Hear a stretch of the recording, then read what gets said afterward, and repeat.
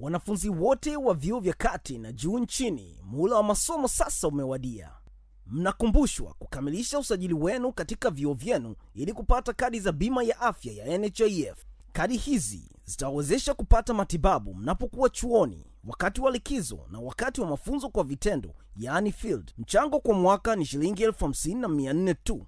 Mwanafunzi, kumbuka ni bima ya afya ya NHIF tu ndiyo itakayokuwezesha kupata huduma bora za matibabu popote nchini. Ni rahisi, fika katika ofisi ya mshauri wa wanafunzi, yani dean of student wa chuo chako na kukamilisha usajili wako, na kisha utapatiwa utaratibu wa malipo ya mchango wako.